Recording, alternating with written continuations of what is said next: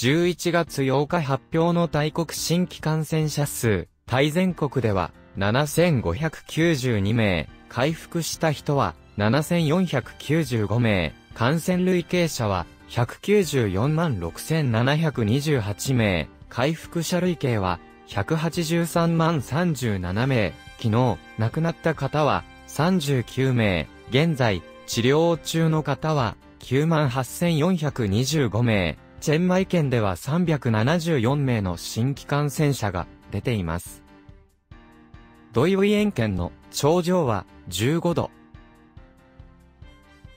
バンファタンツーリズモクラブの会長は次のように述べています。チェンライ県、ウィエン県地区には、ドーイパータンの観光スポットと、ドーイパータン、プーチードゥエン、プーチーダオなどの近くの観光スポットには、霧の海がプーチーファーまで伸びているのを見ることができます。大国政府観光庁の規則に従い、宿泊施設、レストラン、土産物店などパイロットを開設しました。大国政府観光庁と起業家の両方が COVID-19 ウイルスの蔓延を認識しており、距離を作るために新しい形の観光、ニューノーマルに焦点を合わせています。と語りました。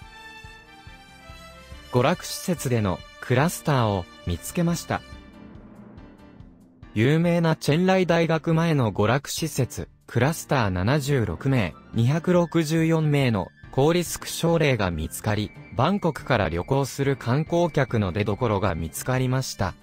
大学前にはサービスを提供しているエンターテイメント施設がたくさんあることが分かっており、バンコクから到着する人々と、近隣の学生などが、10月24日には100人以上が、娯楽サービスを利用しており、11月1日から症状が出始めたことが分かりました。11月22日まで施設を閉鎖する予定です。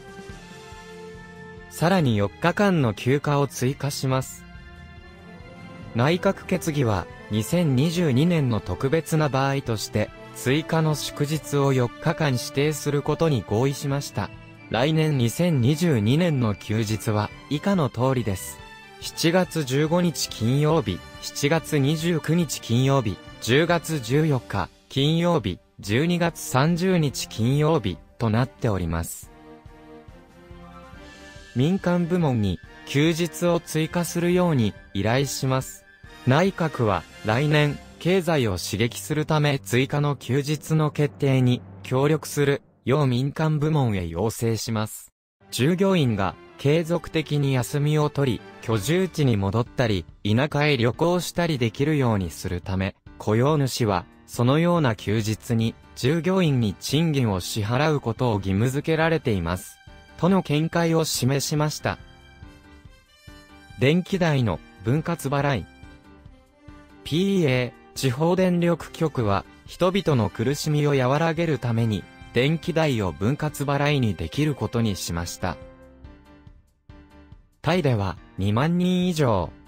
政府のスポークスマンのタナコーン氏は国として満足いくオープンができ、7日間で2万人以上の観光客が訪れたことを明らかにしました。観光客の数は年末さらに増加すると予想されています。この2万人近くの中から15人がコロナウイルス陽性であることがテストでわかり、現在管理下に置かれています。